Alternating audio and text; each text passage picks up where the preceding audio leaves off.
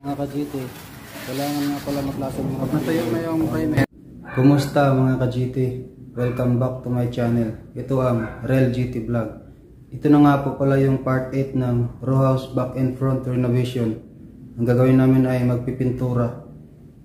At kung bago nga po pala kayo sa akin channel, pakipindot na lang ng subscribe. Tapos i-hit nyo na rin yung notification bell para updated kayo sa bago kong i-upload na video. Bago kami magpipintura mga ka-GT, itong dating may pintura na, kailangan hasain mo na yan. Kasi dito, ang ginawa namin, itong bago, bagong siminto, yan.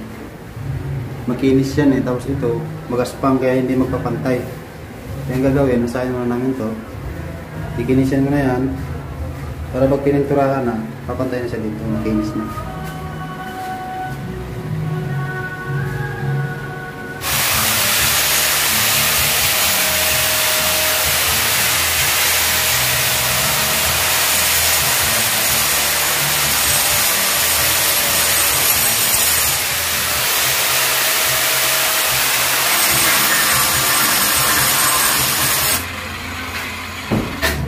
Mahirap din magpatrabaho mga ka-GT.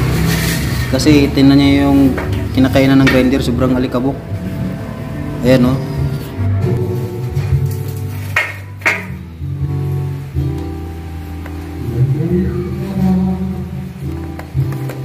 Hirap mag-asa mga ka-GT.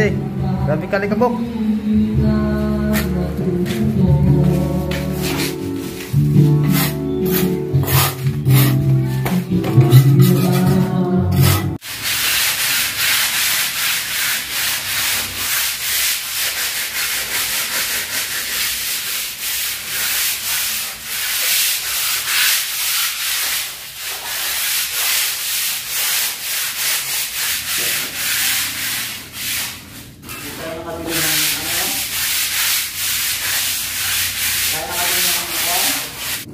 Mga kailangan nga pala maglason muna ng wall bago magpipintura.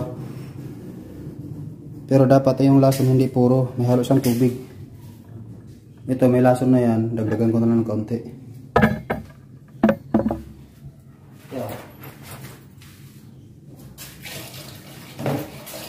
Mag-ingat kayo mga ka-GT pag apply nito kasi matapang tong lason na to eh.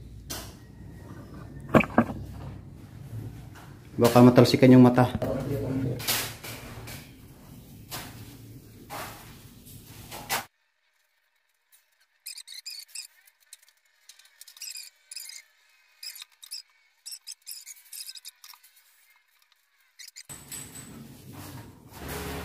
Wala naman kasing level yung sa Nesbaro eh.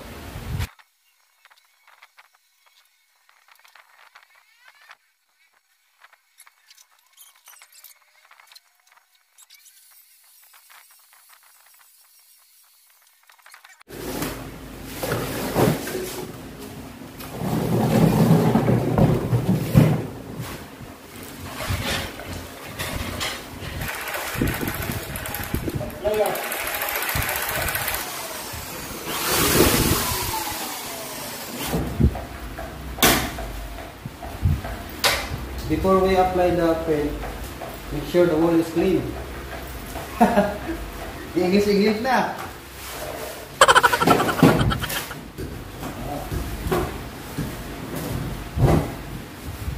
Ayan lasing ah. Yeah, sige nga.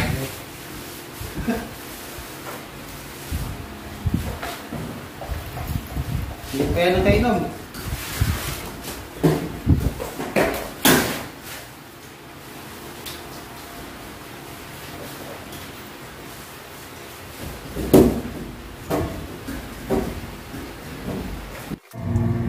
Yan pala mga kajiting ina-apply na pintura. Flat white yan, pang primer. Bago mag top coat.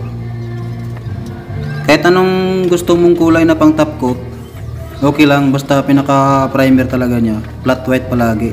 Pag pambato, pagka enamel naman sa pangkahoy at saka bakal, ayun naman ay flat wall naman nakalagay doon. Flat wall enamel. Ito kasi Pambato kaya latex to.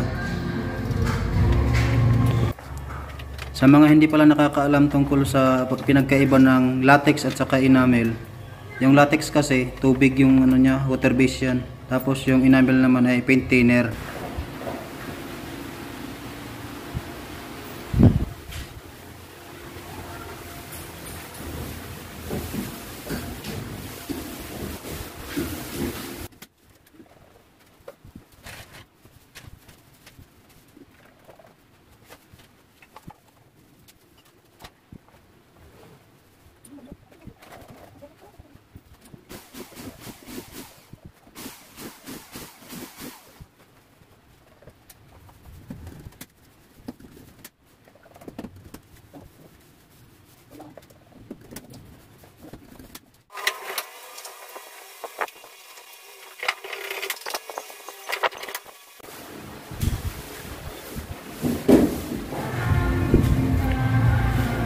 Yung cement pala at saka yung hardiplex mga ka-GT, iisa lang yung pintura niyan.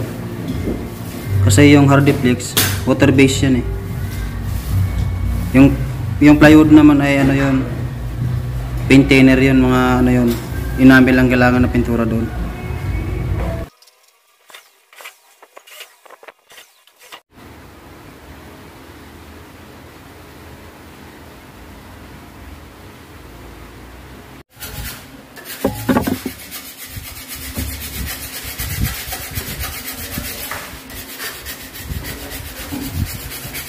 Halo din pala ng skin coat. Kasi yung halubog muna, skin coat muna yan. Ito, bangga lang. May tapasin ko lang yun.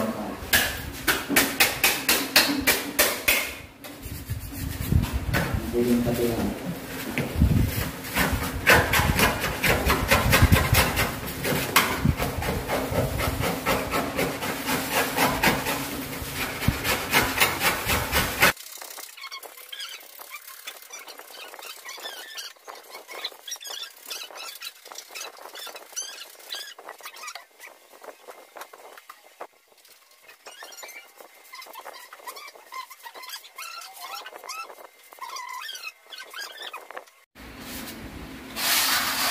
Pag natuyo na yung primer, mamasilihan na. Dito sa makinis, kasi makinis yung pagkagawa namin dito.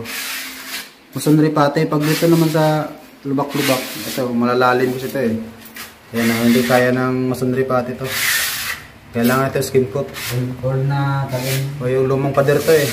Ayan, hinasa ko ng grinder. Kung nakita nyo nung hinasa ko, sobrang dilim. Ayan. Dito, skin coat. Pero pag dito sa ginawa naming bago, masonry pati lang yan kasi makinis na yan eh. Ito yung ginagamit namin mga ka-JT. Ayan, masonry pati. Boysin. Easy. Maestro, Mayos kayo, oras na. Akin na yun. Kahit na naman din, ano yan si Boysen, yaman-yaman na. Habang nagmamasilya nga pala si brother ng masonry pati, ako naman tinatuloy ko yung pagpipintura ng primer.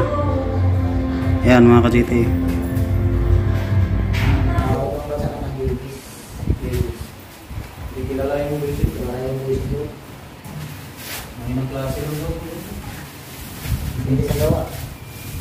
Dito, maganda ang gawa mo dito.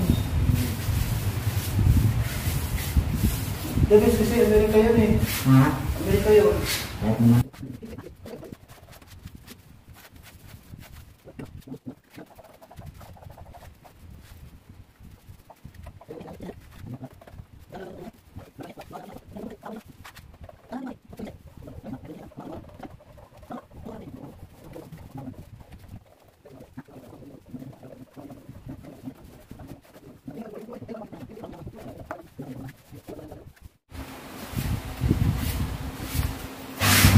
Ang bagal naman nagmamasilya na to.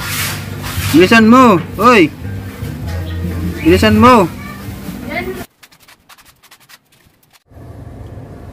At yan mga ka-GT, hanggang dito lang muna yung ginawa kong video kasi kapag inilagay ko lahat, sobrang haba. Baka mainit kayo at iwanan nyo kami sa ere.